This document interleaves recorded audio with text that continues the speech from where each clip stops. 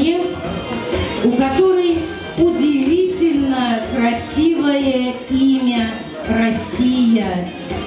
За ясные зори, умытые росами, за русское поле с колосьями рослыми, за реки разливные в пламени синим, тебя по-славянски назвали Россия.